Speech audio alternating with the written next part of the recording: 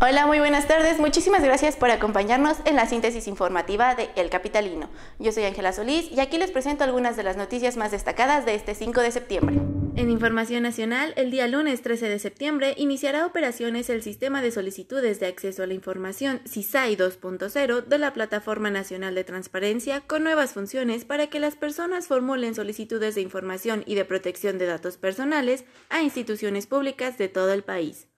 Entre las ventajas que ofrece, destaca el envío de notificaciones a las personas vía mensaje de texto o WhatsApp sobre el estatus de sus requerimientos. En información de estados, la mañana de este domingo 5 de septiembre se registraron dos sismos en el país, el primero de ellos en Baja California con una magnitud de 5.3 grados en la escala de Richter, mientras que el otro se presentó en Guanajuato con una magnitud de 4.3 grados.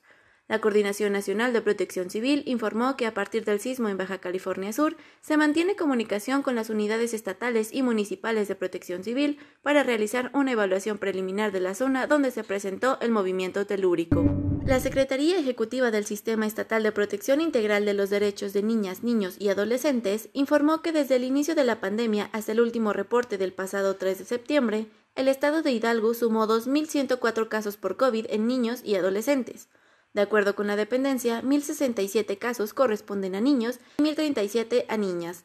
Además, Hidalgo ha presentado 10 defunciones en menores, 1.408 altas médicas y 818 sospechosos en estudio. En información deportiva, el piloto mexicano Sergio Checo Pérez le dio la vuelta a una mala fase de clasificación para terminar en octavo puesto a pesar de iniciar desde el último lugar.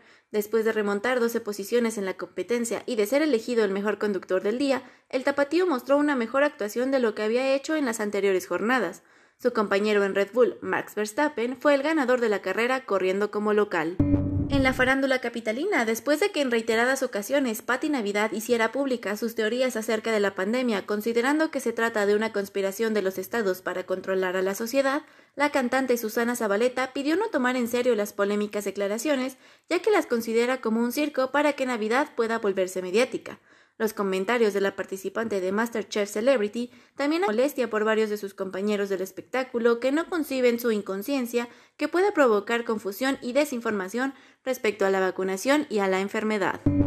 Hasta aquí la información relevante de este domingo. Recuerden mantenerse informados en nuestro sitio elcapitalino.mx y nuestras redes sociales arroba mxcapitalino. Soy Ángela Solís, mucho gusto informar para ustedes. Excelente domingo.